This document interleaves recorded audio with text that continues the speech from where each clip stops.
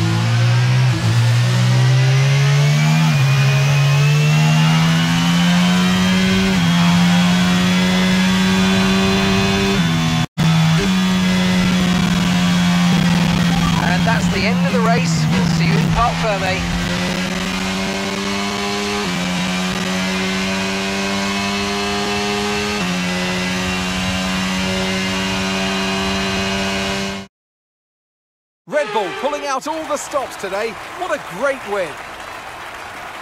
So, Natalie, what do you think helped them deliver this result?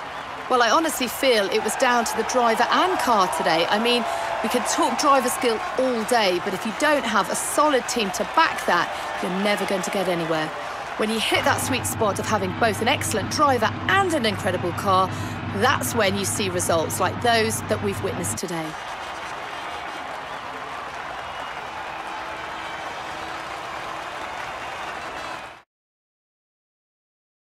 Here come today's winners. The team at Red Bull have done a phenomenal job recently, and it's clear to see that they've put in the work, and they should be so proud of the victory they've secured here.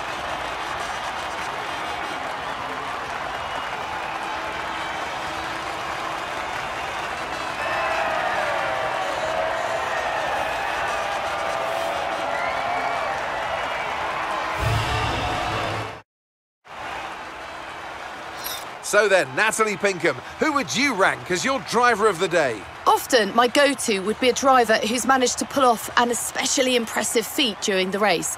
However, in this instance, I was more impressed by Max Verstappen's solid, clean driving throughout the event. Well, what an end to another fantastic weekend of racing. Thanks to everyone who joined us, and we'll see you for the next one.